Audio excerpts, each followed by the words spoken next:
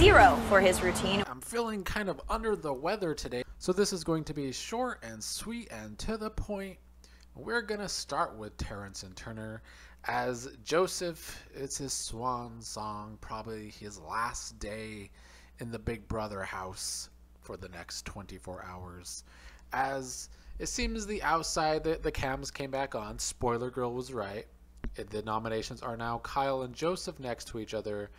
All seems like a ploy to try and help Kyle out even more if they can convince the inside that Joseph was the the one that threw the leftovers under the bus. I don't know how believable that will be. I mean, Michael and Brittany would probably know the truth. We'll get to that part in a second. Terrance thinking he could just join this all white alliance and like he's not going to be the very bottom is ridiculous. He is setting the the game back well, only two seasons, but Turner going along with it. I see people trying to maybe attack Turner personally because he's joining the all white alliance. Possibly, I, don't know if Turner has much of a choice right now. If he does this after the groups get back together, then maybe a point can be made there. However, I do believe that Turner can and should be attacked for his lousy game. I've been saying for quite a while now how Turner is just a coaster in this game, and once again I'm proven right. Baby, I am batting 900 this season. No doubt about it. And I'm doing better than last season doing these breakdowns of the gameplay and predictions.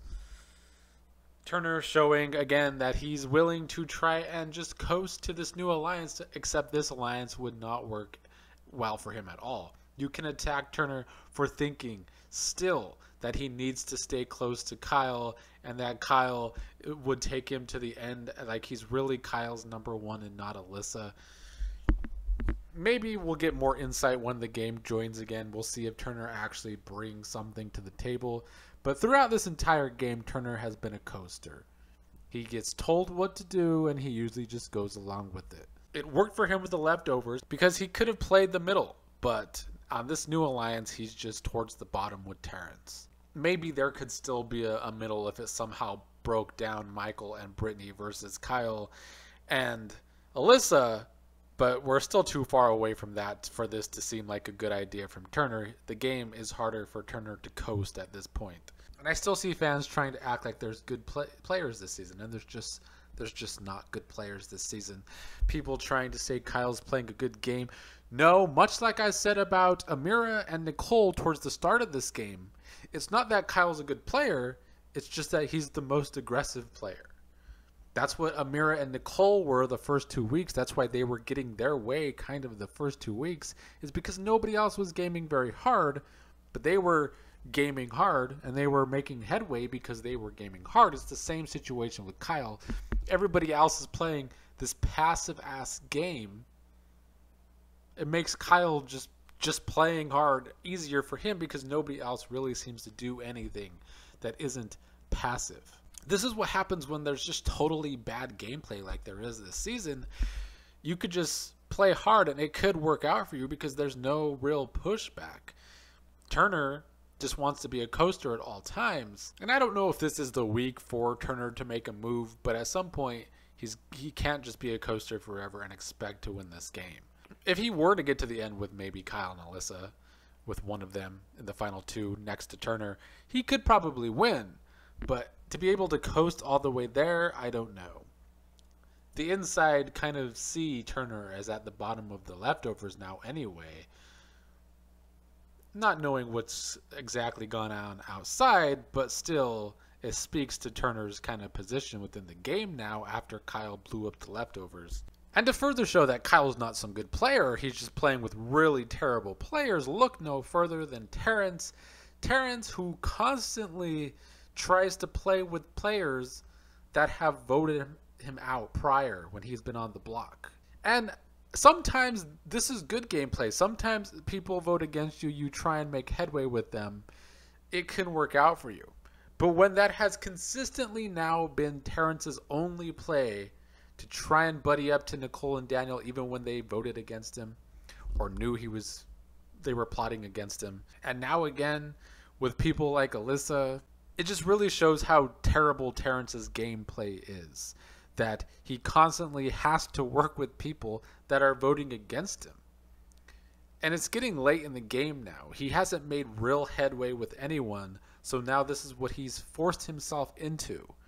It's not good gameplay. Terrance has a, a, one of the most abysmal social games in a long time. And let's face it, if Terrance was even half as crafty as he thinks he is, his target this week would have been Turner. He should have took down Joseph and put up Turner and Kyle and got Turner voted out because you cut the person who is also trying to be a coaster like Terrance and you also send Kyle and Joseph back into the game, possibly going against each other and going against Michael, which Joseph has said he wants to do. Terrance could be setting him up himself up to go completely under the radar with the big targets going after each other, but instead he wants to be at the bottom of an alliance. And if these players continue to play passive next week, if Monte or Taylor don't win the HOH, you best believe it's going to be the entire house versus those two, most likely, and everybody's favorite word optics is going to come back into play. But I'm sure production thinks that is okay because Terrance can be Terrance the Token.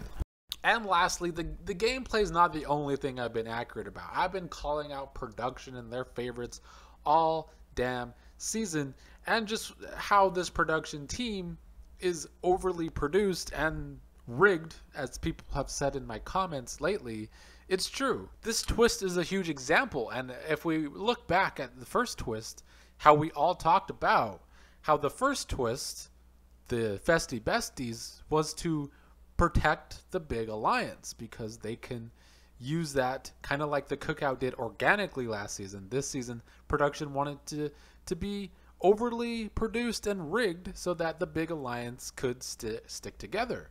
And then they go and make this twist, which is to easily break up the big alliance. But you see what this does is it keeps the game from being organic.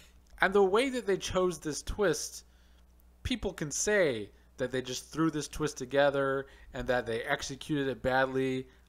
I don't think so. I think they did this purposefully. I haven't talked about this, but you know, Julie said during the rules that the two sides couldn't talk to each other, but Michael and Terrance talked to each other, and Michael told Terrance to target Joseph. Almost as if production doesn't care and hopes that somehow if Terrance is at the bottom of this big white alliance, it makes the big white alliance less problematic. But they also just broke the rules of the twist. And production just sweeps it under the rug, of course, because that's what they do. But you see, to have one twist that sets up the big alliance powerfully for the first half of the game, and then just to suddenly make a twist to break up the big alliance inorganically just shows that production wants to get their way no matter what. Production drives the game on this show far more than the players do, especially when they cast a bunch of players like I've been talking about that don't play the game or suck at it like we had Kyle telling Alyssa if he goes this week or soon that she needs to be one of the next people voted out so that they can have time together in jury and like Alyssa just agreed with it. You don't even see this this poor gameplay on Love Island. I've been I've said this a couple videos ago. Yeah, once in a while we will see somebody quit Love Island because they're just not finding love and they're actually there for love. But most people will still try and play the game and still try and get in couples. But Alyssa just wants to go to the jury with Kyle. That's the kind of people they are casting on this show. And the saddest part is, Alyssa could win this game. I think it's Chris Ludford in the comments. It's a Chris in the comments who keeps saying that if Alyssa and Kyle get to the end, and that seems to be the plan, and it seems to be working pretty well right now, that Alyssa could beat Kyle because of a bitter jury. And it's very, very possible that Alyssa could get to the end and win against Kyle, having done no gameplay this entire season. Sad state of affairs. Why is Alyssa even here? She's done nothing. And why should Alyssa care to go to the jury house with Kyle for a month? 30 days? Like, even if they fucked one time a day for 30 days, That's 300 seconds of sex.